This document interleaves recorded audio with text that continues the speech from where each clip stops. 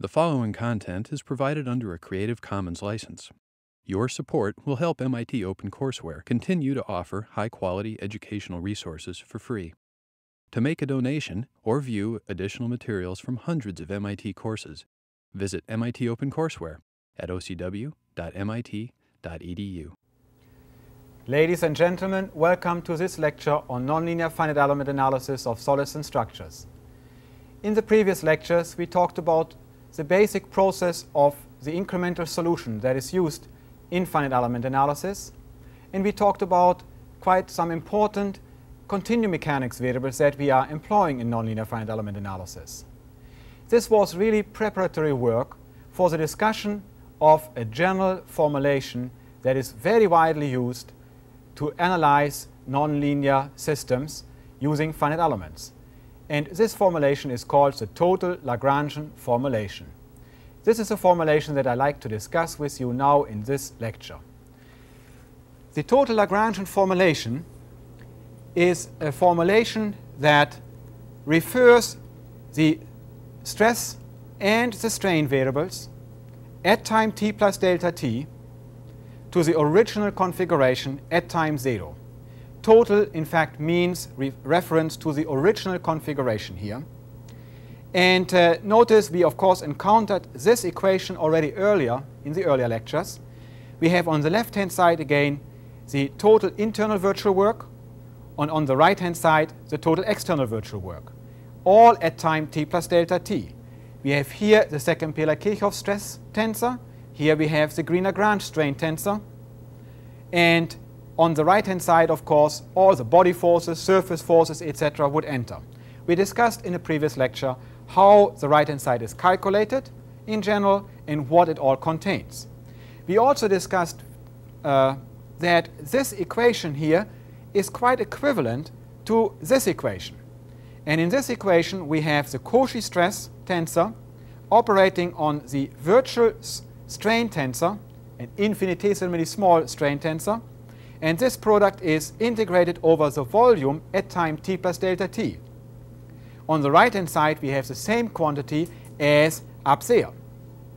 Now notice that we really want to solve of course this equation here in finite element analysis, but we discussed earlier that in order to do so effectively we need to introduce a new stress measure, a new strain measure, and that of course brings us then to this equation up here. Uh, let us recall briefly some of the important points that we made earlier in the other lectures. We said that this equation here applied at time t plus delta t is an expression of the equilibrium, compatibility, and the stress strain law at time t plus delta t.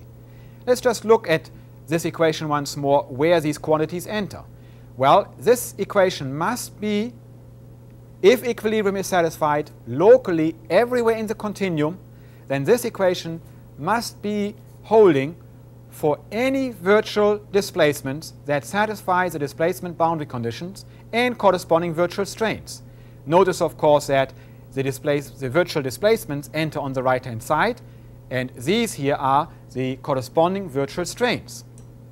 The compatibility enters in here because we uh, would, of course, use compatible virtual displacements, and we would calculate also the stresses from compatible displacements. The stress strain law enters in the calculation of the stress here from the strains given. And once again, we apply this at time t plus delta t. We also uh, noted that, we noted earlier, that we will be using an incremental solution, namely that the solution at time t plus delta t will be calculated from the solution at time t by incrementing the displacements by ui. Notice that we will assume, of course, that the tui's are known, that the displacements at time t are known, and that these are the unknown quantities that we are looking for. Of course, that gives us then the unknown quantities that we actually want to solve for. Our goal is for the finite element solution to linearize the equation of the principle of virtual work so as to obtain a set of equations, finite element equations, that read as follows. Here we have a stiffness matrix, a tangent stiffness matrix. Here we have an incremental displacement vector. And on the right-hand side, we have a load vector, a vector of nodal point forces corresponding to the externally applied loads at time t plus delta t, of course. And here we have a nodal point force vector that is equivalent to the current element stresses in this particular instance at time t, as indicated by this superscript t here. Now, this incremental displacement vector, of course, will be added to the displacement that we know already, and that correspond to time t, and that will give us then a first estimate for the solution, uh, the displacement solution at time t plus delta t.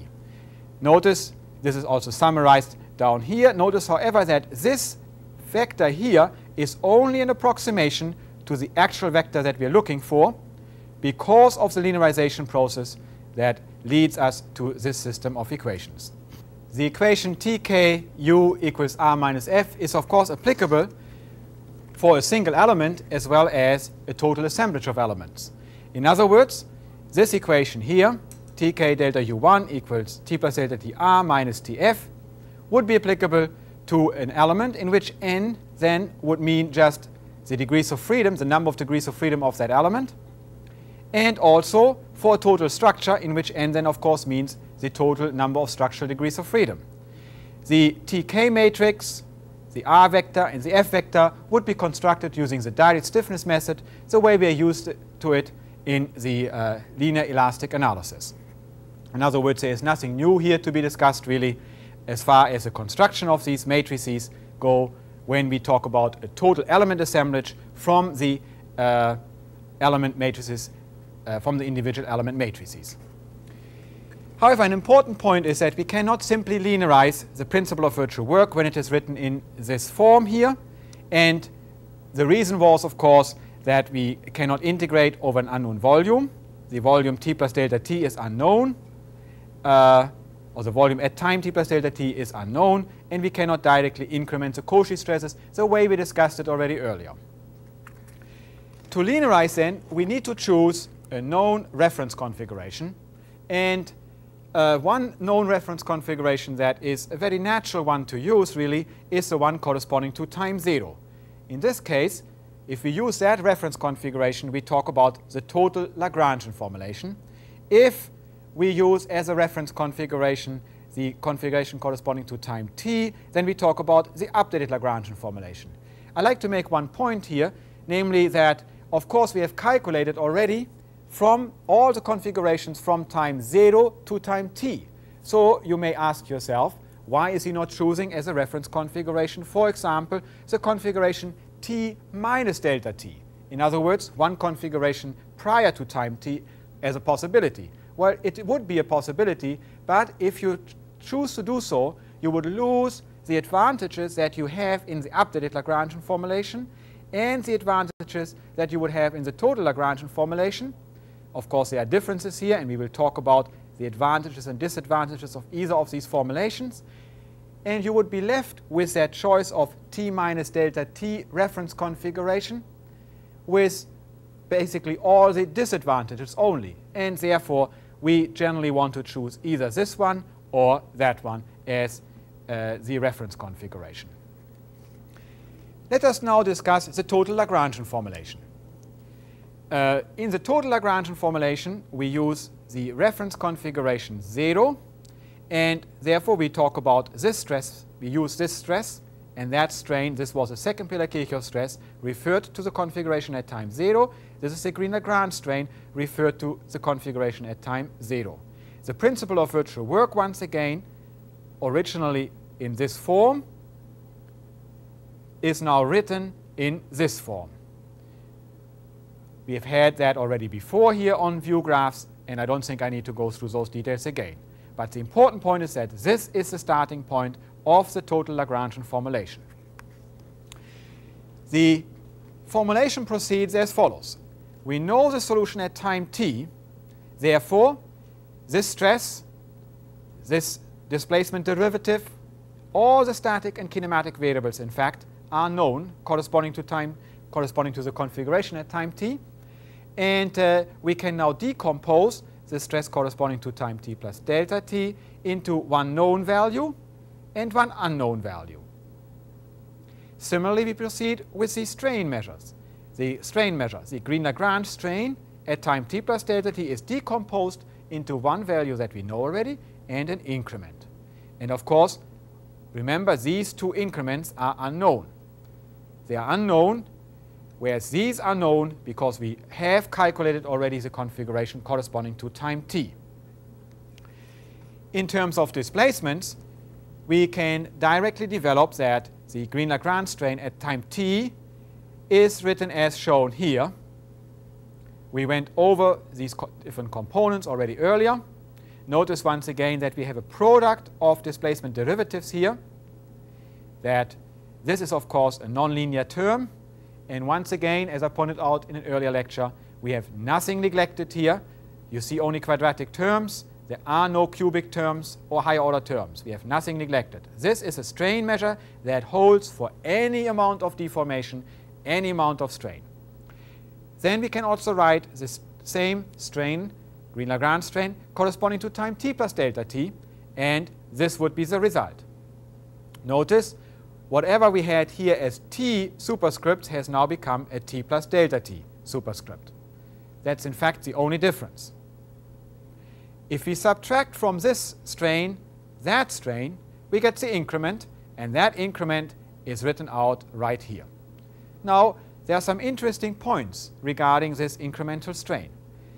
This here is an increment uh, in the strain that is linear in the displacement components. Similarly, this one. Notice this one here looks is of course a product and may look at first sight as a nonlinear term. When you see products of displacements, you think of a nonlinearity. However, if you look closer, you find that there is a t here. Therefore, this part is known. Since this part is known, and this part is unknown, of course, this total term is really linear in the incremental displacements. In fact, the incremental displacements don't even go in here because we are differentiating here the displacements at time t with respect to the original coordinates. Therefore, this total term here is really still linear in ui, linear in the incremental displacements. We call this part here, as given here, the initial displacement effect. The initial displacement effect because the initial displacements go into these derivatives here. We are differentiating the displacements at time t with respect to the original coordinates. This term, on the other hand, here is nonlinear in ui. It is nonlinear because here we are taking one term that depends on ui and we multiply it by another term that depends on ui. Notice this is a differentiation of uh, uk, the incremental displacement, into the k direction with respect to the original coordinates. And coordinate axis xj here in particular. So this is here clearly a nonlinear term in ui, a quadratic term as a matter of fact.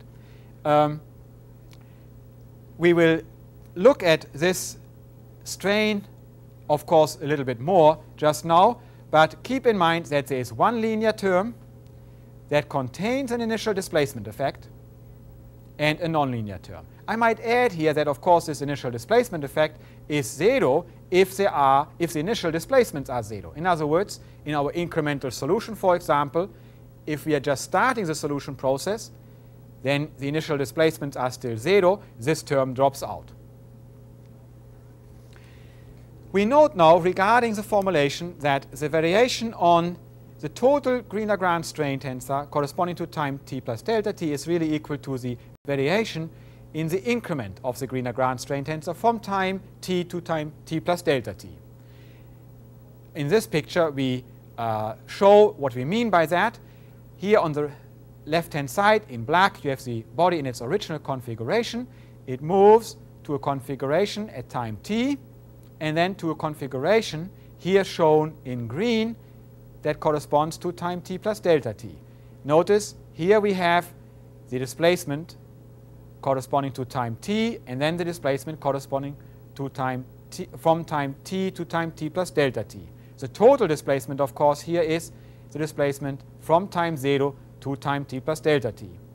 What we are doing, of course, in the principle of virtual work is to impose a variation in displacements about the configuration at time t plus delta t. And that variation is here indicated by the blue line.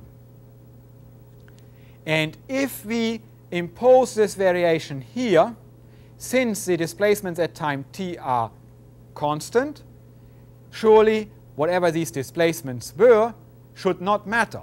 And that is in fact expressed by this relationship here.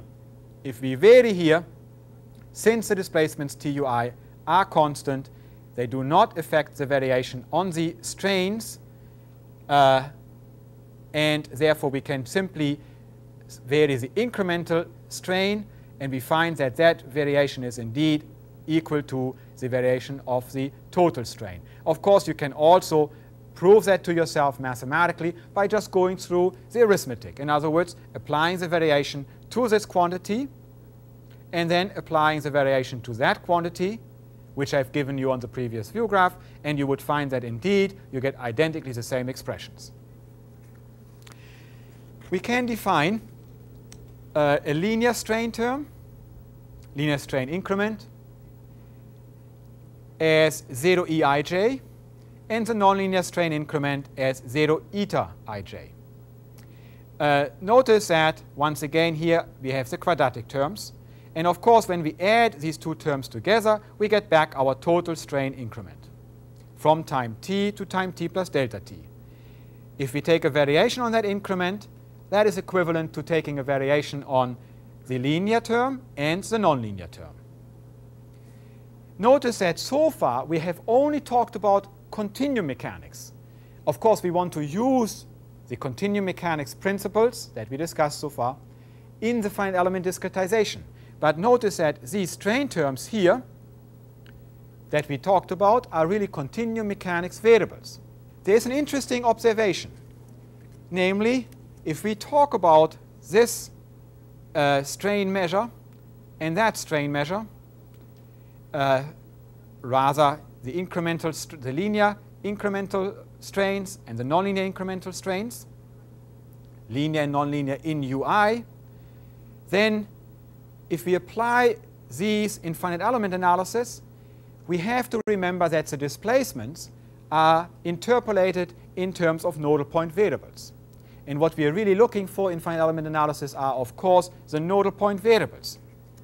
In isoparametric finite element analysis, which is the well, which is the finite element procedure that we will be using extensively, we interpolate the internal element displacements, TUI, in terms of the nodal point displacements. Let me define a little bit more what this is here. This is, of course, the displacement from time 0 to time t into the i's direction. We are summing here over all the finite element nodal points the n nodal points, we have interpolation functions, hk, that we will talk more about later on. And we have here the nodal point displacement at time t into the i direction of the nodal point k. This k goes with that k. And we are summing over all the nodal points. Now notice that this is a linear relationship in isoparametric finite element analysis of solids, I should say. This is a linear relationship. Uh, and therefore, our linear strain terms that we talked earlier about, being linear in the incremental continuum mechanics displacements, are also linear in the uh, incremental nodal point displacements. Similarly, these, this term here, which was nonlinear in the uh, increments of displacements within the domain, from a continuum mechanics point of view, will also be nonlinear in the nodal point displacement increments. However, in the formulation of structural elements, the incremental displacements, in fact also the total displacements, are interpolated using nodal point displacements and nodal point rotations. In other words, we also deal with nodal point rotations in order to calculate the total displacements of the element.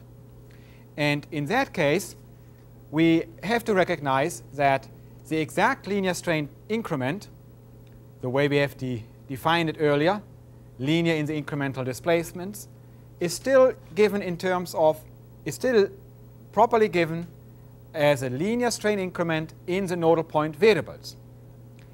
Uh, however, the uh, term that we defined earlier as a nonlinear strain increment, this one, is not the full story of all the nonlinear strain increments because the rotations will put additional nonlinear strain increments into this term here.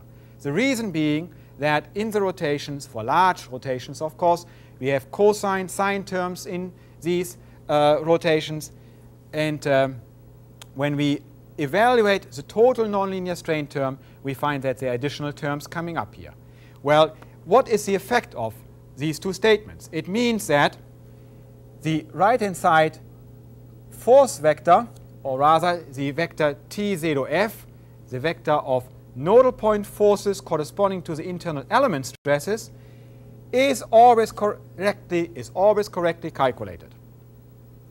However, the stiffness matrix T0k for the formulation is only approximated because some of the nonlinear terms here have been dropped in the case of structural elements. Of course, you can also include the nonlinear terms. Then you would have to add these terms to this expression here, and then you would get uh, a true tangent stiffness matrix. This means, of course, for an actual analysis, that when you form the equations, we have on the left-hand side, let me just put all of it in here. For the first iteration, we talked about the fact that we have a stiffness matrix times an increment in displacements. I already put a 1 there because that will be only an approximation to the total incremental, incremental uh, displacement vector. Well, we notice then that this matrix here is approximated if you were to drop these additional terms. And, but the right-hand side vector f here is properly calculated. Therefore, if you iterate, you always get the exact solution, the correct solution, but the convergence in that iteration might be a bit slower than what you could have obtained if you had included these additional terms here uh, that I referred to. Let us now continue with the continuum mechanics formulation. The equation of the principle of virtual work becomes, if we substitute the quantities that I defined earlier, uh, directly this equation. Notice here we have now the increment in stress times the variation of the incremental Green-Lagrange strain from time t to t plus delta t.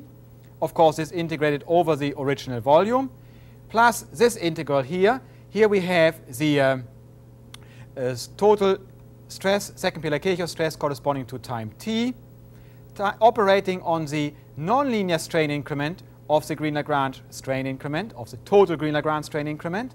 And once again, we, we are integrating over the total volume corresponding to time 0. And on the right-hand side, we have the external virtual work minus, uh, well, the stress at time t operating on the linear strain increment corresponding to the total Green-Lagrange strain increment. We have so far made no approximations, and this is a relationship that has to hold for any arbitrary variation in displacements which go in here, or any arbitrary virtual displacements that go in here, and of course corresponding strains that appear here. Uh, in essence, what we have been doing is that we have established a variation on the configuration at time t plus delta t. Or we have looked at the principle of virtual work corresponding to time t plus delta t, but we have introduced this increment in displacement. Notice that this increment in displacement is measured from the displacement at time t. All we have done, therefore, is to rewrite the principle of virtual work in terms of tu and u instead of dealing with t plus delta tu. No approximation being done yet so far. Of course, we really haven't been talking about finite elements either yet when we just look at this basic uh, equation of principle of virtual work. It is, of course, this principle, or the equation that we are dealing with, is in general a very complicated function of the unknown displacement increment. We obtain an approximate uh, relationship in finite element analysis by linearizing the governing equation and of course then in the finite element sense cast it into this set of linear equations. Uh, the process of linearizing is a very important process, interesting process for us to study, and that's what I want to do now. We begin to look at the in, or we look in this linearization at all the individual terms that appear in the integral. And let us look first at this term here. This term is actually already linear in ui. So there is nothing much to linearize. T0sij does not contain ui. It's a known quantity. It's a known stress value. And notice that when we take the variation on this uh, nonlinear strain increment, we directly get this expression, where this part here is a variation on the uh, displacement increment, similarly here. And of course, these are going to be constants. Therefore, this term here is linear in the incremental displacements, linear in ui. So nothing to linearize there. The term on this view graph here contains an incremental stress and an incremental strain. Notice this incremental strain contains the linear and the nonlinear term. And this, of course, this product is a function of uh, linear function of ui. Sorry, it contains linear terms, nonlinear terms as well. T, uh, this stress here is in general a nonlinear function of 0 epsilon ij. The variation that we're taking here means taking a variation on the linear part and the nonlinear part. We will see actually that this one here is constant, but this one carries also uh, terms of ui. So this total expression is linear in ui. And if we multiply these terms here, we of course want to end up in just one expression that uh, has neglected all high order terms in ui, but just contains ui. Well, let us do so. The objective is expressed once more here. And uh, we recognize that, of course, the variation on 0 epsilon ij contains only constant and linear terms in ui, the way I just expressed it. 0 sij can be written as a Taylor series expansion in 0 epsilon ij. This is the general expression. Here we take the partial of the stress at time t with respect to the Green-Lagrange strain at time t. Here we are having this bar with a t that denotes that we are actually doing this evaluation at time t. And here we have an increment in the strain.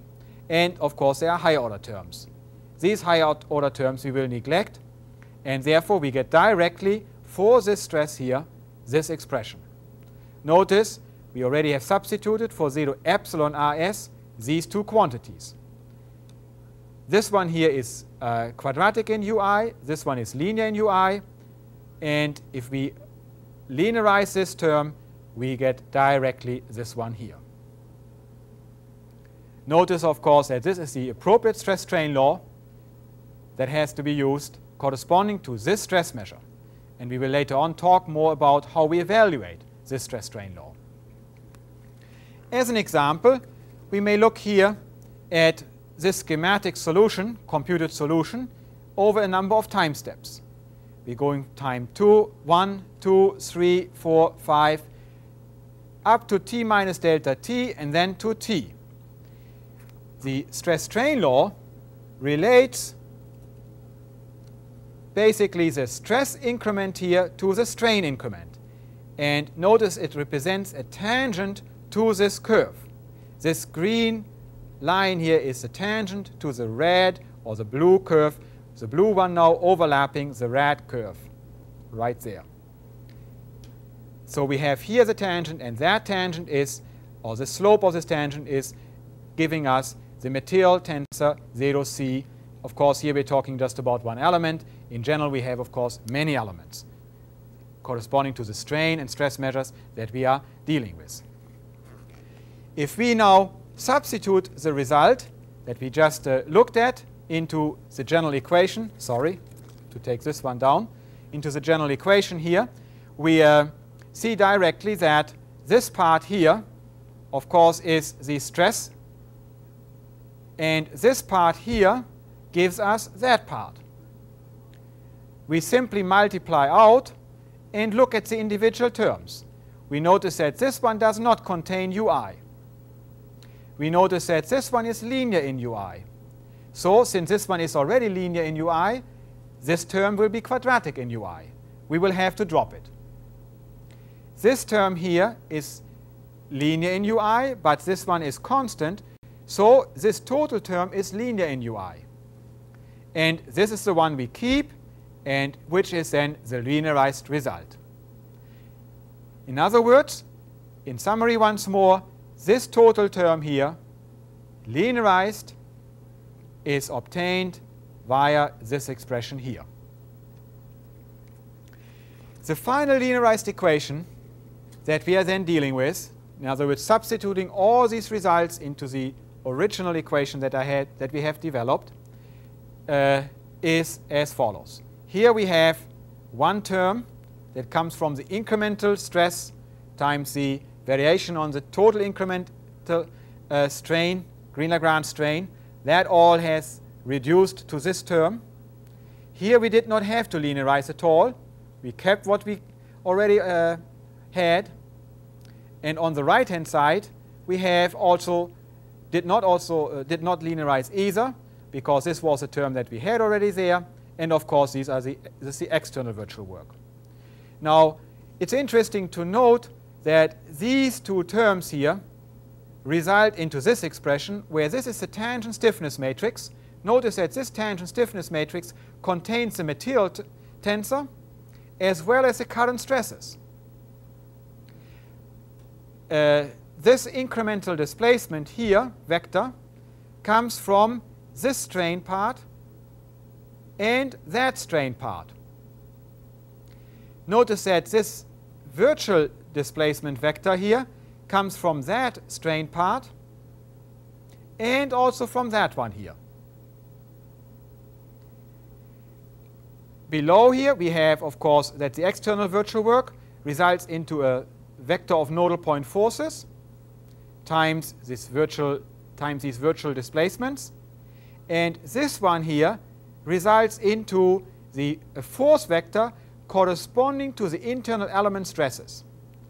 And this is, of course, a very important quantity that we have to calculate accurately, as I pointed out earlier, because we want ultimately in the iteration that this vector is equilibrating that vector, and if we do make a mistake in calculating this vector, then we might have converged, but we have converged to the wrong solution. So it's very important to recognize that this vector must be accurately calculated by all means. However, the K matrix here, we go back once more to, to the discussion of this matrix, the K matrix here is a tangent stiffness matrix. And this tangent stiffness matrix is selected such as to obtain, of course, in the incremental solution, an appropriate incremental displacement. We will see later on that this matrix is updated in the iteration. Uh, it depends on what kind of iterative scheme we're using. We are, depending on that scheme, we're updating this matrix differently. In any case, it's a matrix that we will sort of, in quotes, play around with in order to accelerate the convergence. Therefore, there is no unique matrix that, should be, that can be used here, that should be used here. Uh, there are different possibilities that we will discuss in later lectures. But on the right-hand side, once again, this f vector is the f vector obtained from the current stresses, and that one has to be calculated uniquely in the correct way. Well, an important point is that this relationship here on the left-hand side is equal to the relationship given here on the right-hand side. And this holds because this term here is equal to that term we interpret, in fact, this right-hand side as an out-of-balance virtual work term. let's look once why this holds, because this might be a bit of a surprise. The mathematical explanation is uh, given on this view graph. We had earlier already that the variation on the total Green-Lagrange strain is nothing else than the variation on the incremental total Green-Lagrange strain. Uh, now, if we look down here, we recognize, of course, that this variation here at ui equal to 0 is nothing else than the variation on the Green-Lagrange strain at time t. If ui is 0, then this term here is nothing else than the Green-Lagrange strain at time t. So we're looking here at the variation of the Green-Lagrange strain at time t if I put ui equal to 0. Now let's look at these expressions here. If I evaluate this term here at ui equal to 0, we find that this term here, being a constant, is recovered. But notice that this term here, with ui equal to 0, simply turns out to be 0. Therefore, this here, this term is equal to that term. And this means, therefore, that the variation on T0 epsilon ij is equal to the variation on 0 eij, which we wanted to prove, of course. So this is the reason why uh, the, this term here is equal to that term, as we have used it on the previous view graph. This result also makes physical sense, because if we look at the governing equation, we find that this term here replaced is nothing else than tr, should be tr. And of course, the script r, the external virtual work at time t. And this, of course, is here the out of balance load term. Now, if, for example, the material is elastic uh, and uh, the external virtual work has not changed, then clearly the displacements would not change. In other words, t plus delta t ui would be equal to t ui, and the incremental displacements would be 0. Therefore, equilibrium would be satisfied. Hence, this term, which we have here, must actually be equal to T0 Sij times variation T0 epsilon ij, the way we discussed it just now. We may rewrite the linearized governing equation as given on this view graph. And I'm rewriting it in this form because we anticipate that we need an iteration. We simply introduce here an iteration counter 1 with a delta in front of the uh, incremental strain value.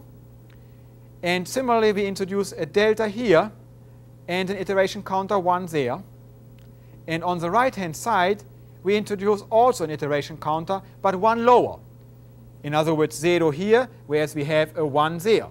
Notice 0 here, a 1 here, and notice furthermore that this term is nothing else than that term, and this term here is nothing else than the variation on T0 epsilon ij. This would be the equation that we have developed already, just into having introduced now a different notation, which leads us towards what we want to deal with in the iteration. The governing equations from a finite element point of view then would be as shown here. Notice tangent stiffness matrix, del u1, iteration counter, the external loads, which we still assume to be constant, by the way. We still assume deformation independent loading. If we have deformation dependent loading, these, of course, would also change in the iteration. And uh, here we have uh, the vector corresponding to the internal element stresses at time t. We write that vector as t plus delta t 0, 0 there. And that means that we're really talking at this point about this vector. We calculate this incremental displacement vector and add it to the previous displacements, which of course in this particular instance, in the first iteration, are nothing else than tu. We add those and obtain up and obtain our first estimate of displacements, namely the estimate at the end of iteration 1. Having obtained now this estimate on displacements, we can repeat the process. And that is shown here on the next view graph.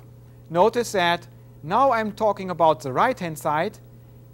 uh, about the Green-Lagrange strains corresponding to time t plus delta t and the first iteration. In other words, these are the Green-Lagrange strains corresponding to the end of the first iteration. They include now the incremental displacements that we just calculated. Similarly, these are the stresses corresponding to the end of the first iteration. And this is an out of balance virtual work term. If that is non-zero, we will have a further increment in displacements, and those that increment results, of course, into an increment of strains, namely the second increment. Here is the 2, that denotes the increment. Here is the 2, that denotes the increment. The finite element equations then would look as shown here. Same equation as before, but now with a 1 here and a 2 there. We calculate the incremental displacements, we add them to what we had already and get a better approximation to the displacements corresponding to time t plus delta t. This process, of course, can now be repeated and on this view graph, we show how it's being done for every iteration k.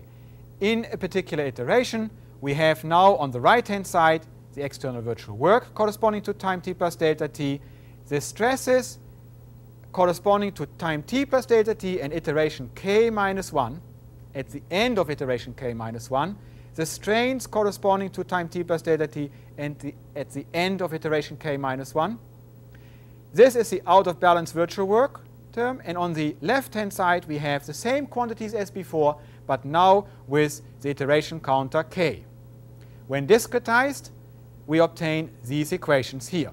Delta uk, the increment in the iteration k of displacements, uh, r minus f, computed, of course, from the current displacements.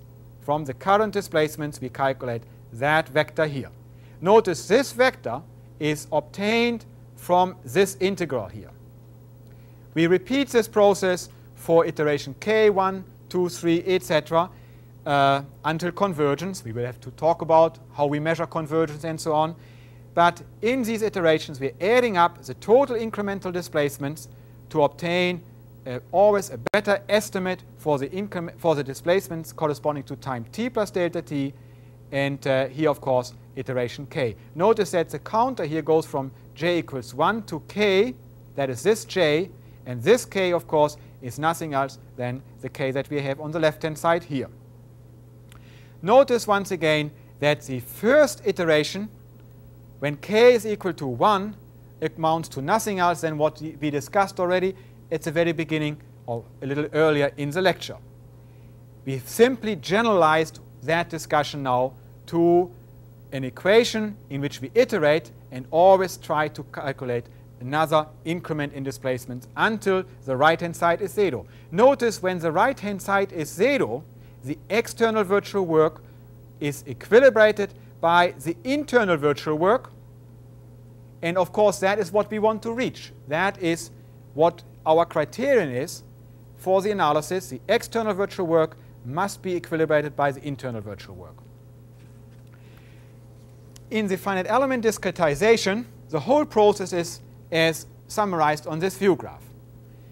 Initially, we are given Tu, the displacements corresponding to time t, and the externally applied loads corresponding to time t plus delta t. We compute this stiffness matrix, the tangent stiffness matrix corresponding to time t. We calculate this vector, the nodal point forces corresponding to the stresses at time t. Notice this zero here refers always to the total Lagrangian formulation.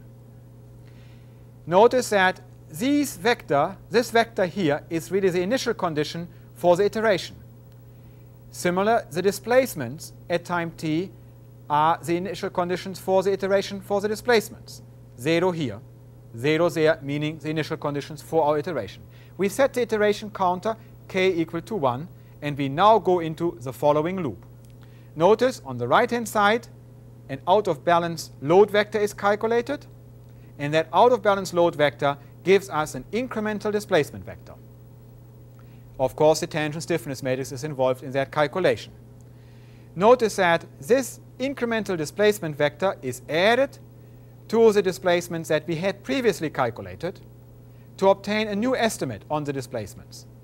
And like that, we have now obtained a displacement vector that, of course, hopefully is closer to satisfying certain convergence criteria. We will have to talk about these convergence criteria later on. Basically, we check whether equilibrium is satisfied within a certain tolerance.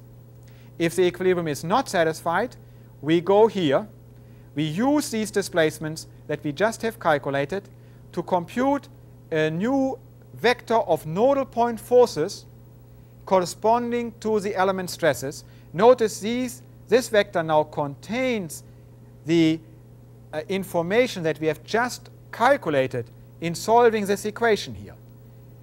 This was the information that we obtained. And that information is contained in this vector. And that vector is used right here to calculate this nodal point force vector, this nodal point force vector. Having calculated that, we increase our iteration counter, come back here, and like that we continue the iteration looping around through here as I have just described. Notice at convergence once again we want of course that R is equal to F, meaning that the external loads are equilibrated by the nodal point forces corresponding to the internal element stresses. Well, this brings us to the end of this lecture.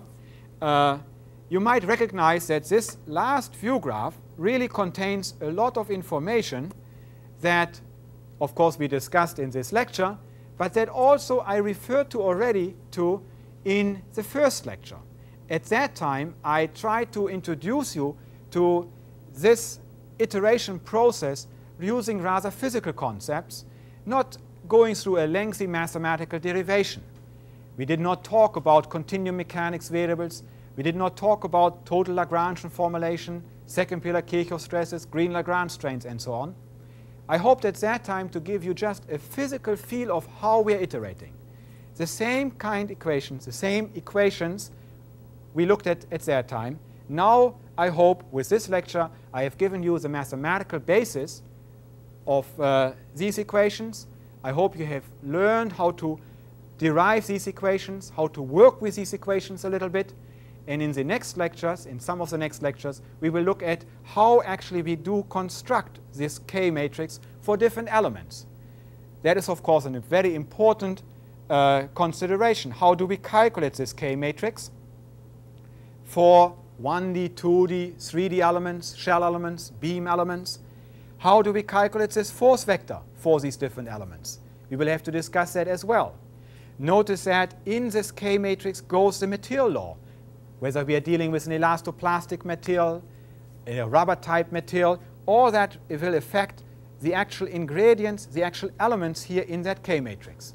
We will also have to discuss how we can possibly uh, make this convergence that I'm talking about fast. In other words, how can we accelerate the convergence of these iterations?